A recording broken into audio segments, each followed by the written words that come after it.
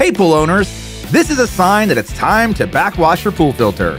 If your filter's pressure gauge reads 10 psi above normal, your filter needs backwashing. But pressure gauges can fail over time, so if you notice low water flow coming into your pump, low water flow from the return jets, or your water is chronically cloudy, chances are you need to backwash. And always check your filter's pressure gauge, but don't rely on it as your only source of when to clean your filter.